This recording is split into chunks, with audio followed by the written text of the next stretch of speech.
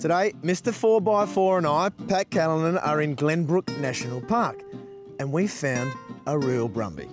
Well, I think we've found a bit of an off-roader, I'd call it, Terry. We have, Pat, the Cub Brumby. Now, this is built for extreme outback conditions.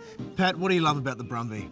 Well, the important thing with the Brumby is that it's got a really strong, fully galvanised chassis, and connected to that is independent suspension. So no matter what sort of tracks you go over, it soaks up the lumps and bumps with ease. Sounds like uh, it's got some pretty serious tyres too. Look, it does. It's got the 16-inch tyres and some good all-terrain rubber. And as well as that, it's got a really nice long drawbar, and that's a real advantage in off-road conditions. Pat, this one's got a boat on it too. Yeah, look, it's got a pretty unique boat loader, so I'll show you how it works.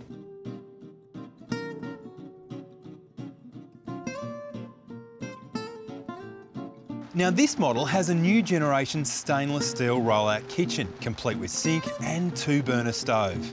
It's a great preparation and storage area, and it's got a really handy side shelf as well. There's a large fridge box on the drawbar with extra storage. Well, no sooner had we set up the Brumby, Pat, but the weather's in on us.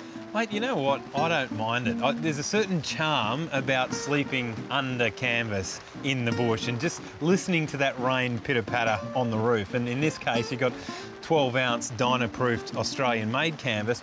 Now, this can really go anywhere around Australia. Where have you taken it? OK, so we've taken them up the Canning Stock route. Uh, we've taken them across the Kimberley, done the top end, also done the Cape York as well. Yep. Um, good trip through outback Queensland there. Um, Look, the Red if you want to find out a little bit more about the Cub Brumby or any of the Tassie. Cub range, visit cubcampers.com.au. Yes, mate. Sorry, yeah. Cross